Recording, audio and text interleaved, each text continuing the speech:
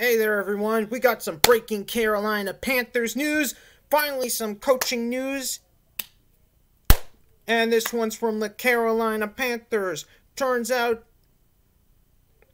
Panthers quarterback coach Jake Pease. Jake Peetz.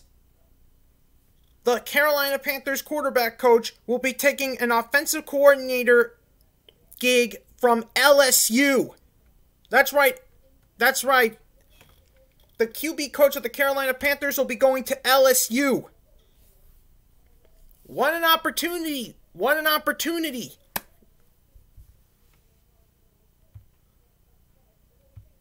Jake Peetz, I say you make the correct call.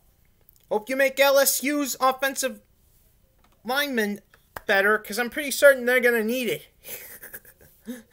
even though you are the quarterback coach. But still, you're now the offensive coordinator for LSU.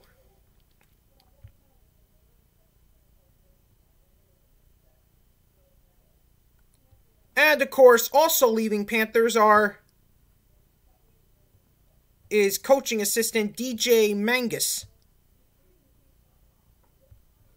DJ Mangas will be going with Jake Peetz.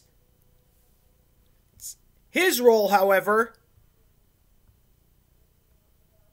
will be the passing game coordinator. That's right. So LSU is taking two guys away from Carolina Panthers. Man, talk about irony. Irony.